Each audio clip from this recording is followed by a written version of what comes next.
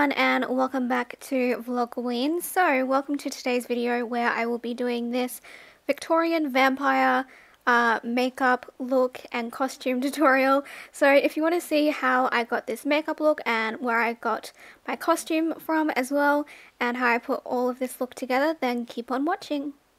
Alright, so first up I'm going to do my eye makeup and uh, to do that I'm going to start off with uh, concealing my eyes with uh, a concealer which is from NARS and this is the NARS Radiant Creamy Concealer in the shade Vanilla.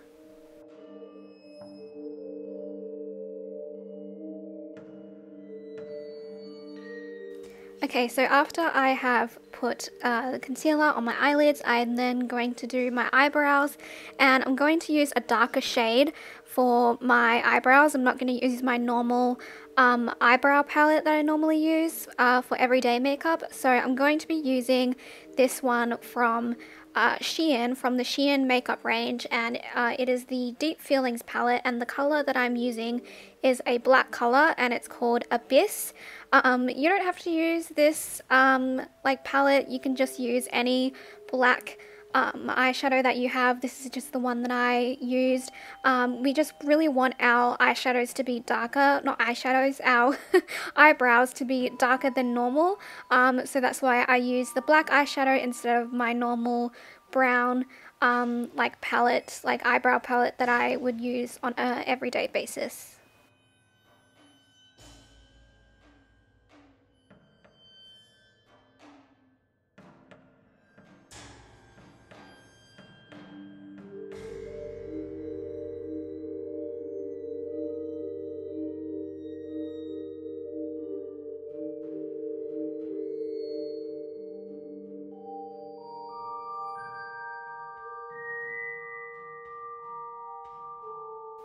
Okay, so once the eyebrows are done, we are going to be going back into the um, Deep Feelings palette and use that same shade and um, we are going to be putting that on our eyelids for the first um, like eyeshadow color that we'll be using for this look. Um, so we are going to be putting it on our eyelid but it's not going to be all over the eyelid. So we are going to be leaving the inner corner of our um, eyes um, blank so we can use a different um, shade but this is going to be like the primary shade that we'll be using for the other half of our eyelid so as you can see here I'm just kind of like putting it on um, the other half of my eyelid and like on the edge as well um, on like the outer corner of my eye um, and just leaving the uh, inner corner uh, blank so we can use a different uh, shade.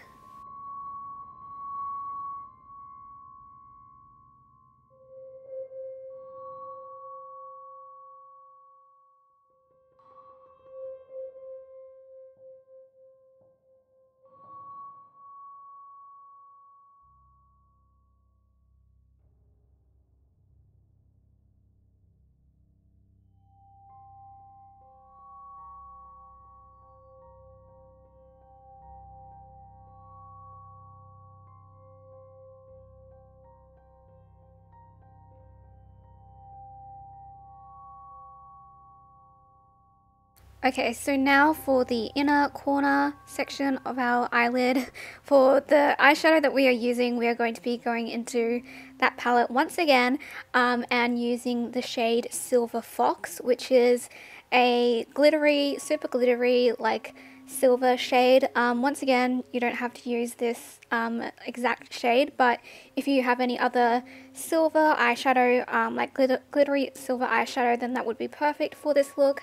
Um, but yeah, this is just the one that I used, and um, yeah, so we'll be putting that in the inner corners of our eyes, and then um, after that, we'll be blending everything out and like blending it around the edges so that it has like a nice soft look about it.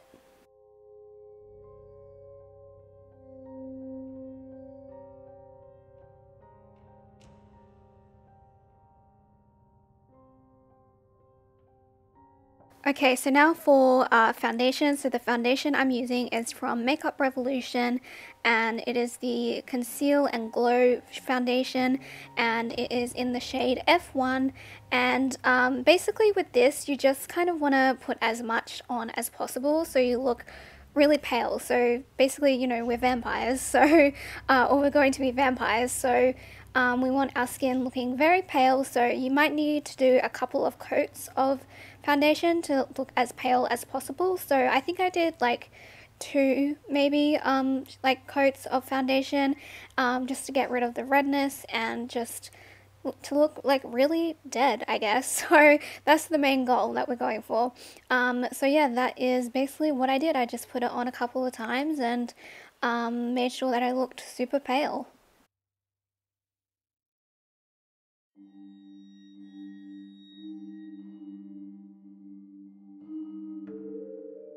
Okay, so now on to concealer and I'm using that same NARS concealer that I used on my eyelids. Um, basically just putting this on any like imperfections that I had and like under my eyes as well. Um, just the normal places where you'd put um, concealer is where I am uh, putting this for uh, this look.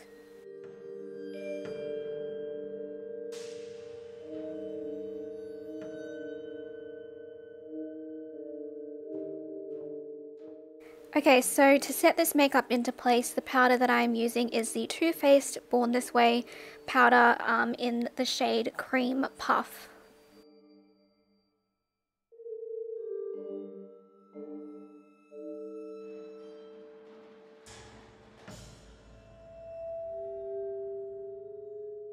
So once that powder is done, um, I then went back into uh, my eyeshadow palette to just touch up on my eye makeup um, and to also um, put the eyeshadow on the like bottom half of my eyes. Um, so you can see me doing that here with the black one and then I go in with the silver eyeshadow um, and then put it like on my lower like lash line I guess. Um, and then I also just blend it out again to make the edges look a bit more smoother.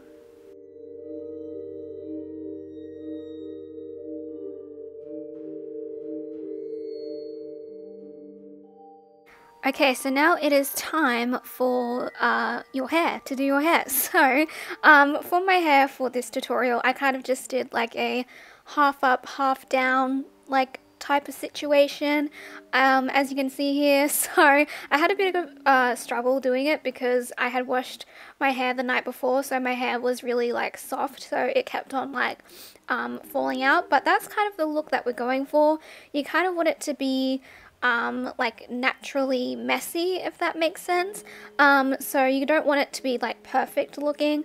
Um, so it's okay if like bits are falling out like all over the place. So um, because yeah, we want it to look naturally messy. So that's kind of like the vibe I was going for with this um, hairstyle.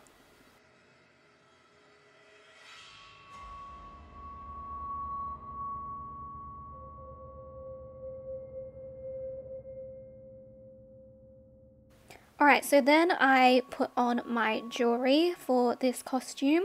Um, so the jewelry that I'm wearing are these like, um, well for my earrings I'm wearing these um, bat earrings, uh, which I think are super cute and perfect for this look, for like a vampire costume.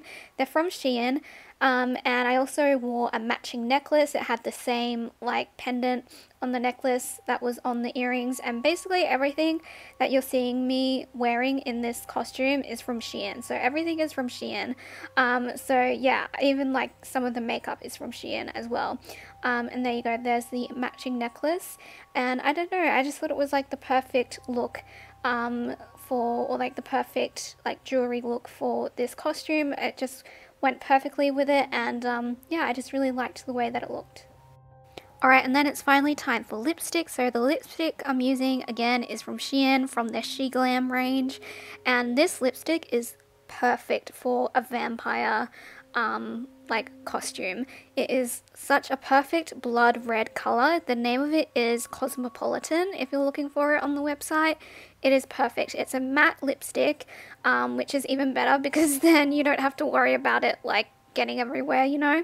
Um, so yeah, I just loved this lipstick so much and thought it was perfect for like a vampire costume because of the shade of red. Like it looks like blood. It's just so good. Um, so I did have to put it on a couple of times to make it kind of really like a deep blood red, but um, I just, oh, I love this lipstick so much. It's perfect for this look.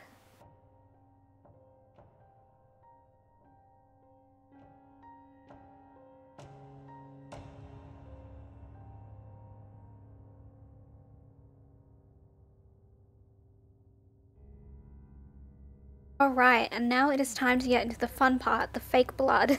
So I had two different types of fake blood. I had gel blood and then I had this other fake blood which was more thin than the gel blood. The gel blood was more thick. So um, I wanted to put two lines of fake blood coming down from the corners of my mouth and it doesn't have to be perfect. It doesn't have to look neat or tidy. You kind of want it to be a bit messy looking just like kind of you've looked like you've just, I don't know, bitten someone, I guess. So you can go as messy as you want. Um, so yeah, I had this um, like makeup brush, this old makeup brush that I used to put it on. Um, so I used both um, types of fake blood. So you'll see me here using the first fake blood, which is the more thin one. It's not the gel one. Um, so yeah, I just kind of like made I, I, guess an outline, I don't know, of like the fake blood.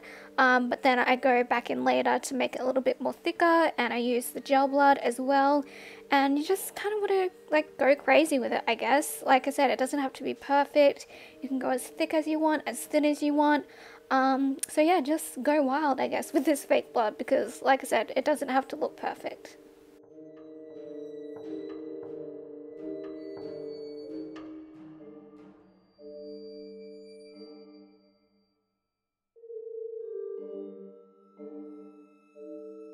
Alright, so here I am um, just putting more of the gel blood on it, um, just to make it look a bit, a bit more like three-dimensional, I guess. So with the gel blood, I just used like a Q-tip to put it on. Um, and yeah, here you can see I've got it on both sides of my mouth. And um, yeah, I just, I don't know, I really wanted to make it look really just, I don't know, like really kind of like neat messy if that makes sense. I don't know but I didn't want to go too crazy. Um, but you can go as crazy as you want. This is just the way that I wanted it to look.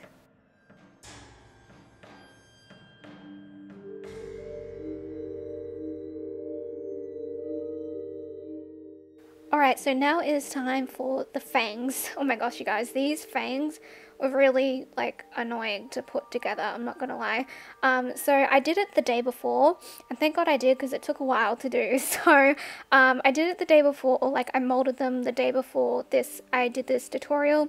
Um, so uh, as you can see here, I'm struggling getting the uh, molding powder stuff open, and I finally did it.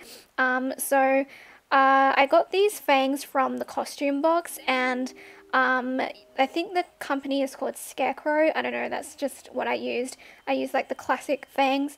Um, so yeah, I then put this like liquid stuff in with the powder, um, the mold powder.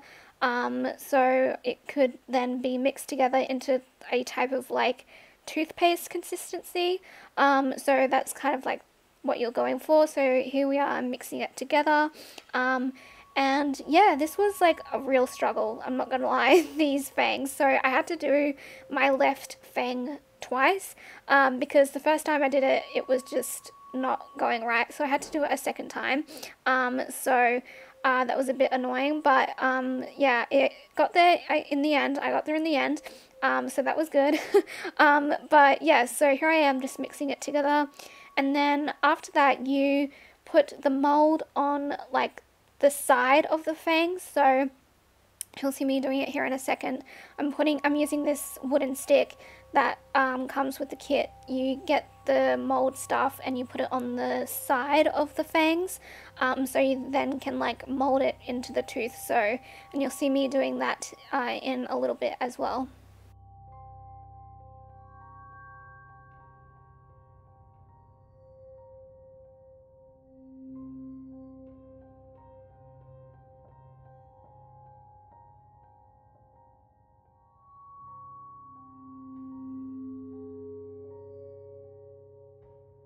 Okay, and then here I am uh, holding my tooth, uh, and I had to uh, wait for five minutes for it to be molded. Um, so I literally sat there for like five minutes because I was using my phone as a timer, like the recording time as a timer. So I just had to sit there for five minutes, and you have to tilt your head back um, as you're holding your uh, fang against your tooth um, so you don't dr uh, drool. Um, so, and let me tell you, I drooled a lot. That's why I had to do it a second time because um, the drool was just going everywhere the first time. So I had to wait a whole five minutes and then after that you have to wait 15 minutes um, after like you um, like wait for the five minutes like after you mold it um, you have to wait for another 15 minutes um, just so that it is staying in place I guess I don't know why you have to do that but that's what it says in the instructions that you have to wait another 15 minutes after those five minutes so basically it takes 20 minutes for each fang, which is really annoying. It takes up so much time. So I'm so glad I did this the day before and not on the day of filming because that just would have set back my filming.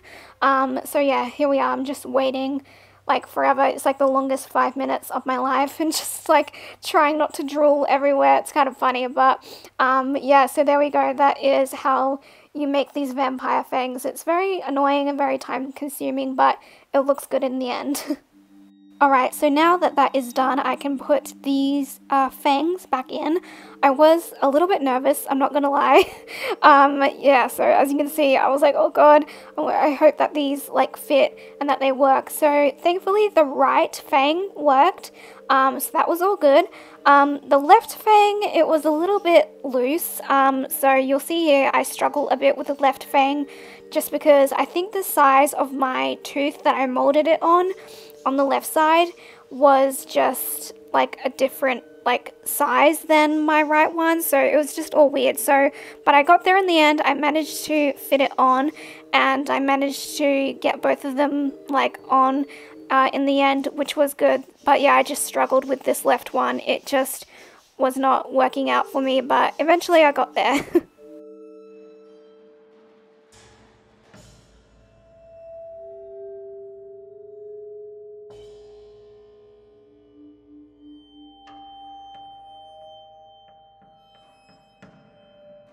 Okay, and now for the costume. So for this costume, as you can see, I have a skirt, but I wanted to make it bigger, so I got a petticoat, which is from the costume box, but unfortunately I couldn't use it because the um, petty skirt, uh, or the petticoat, sorry, was like way too big, and you'll see me here in a, real in a minute. I realized that it is way too big.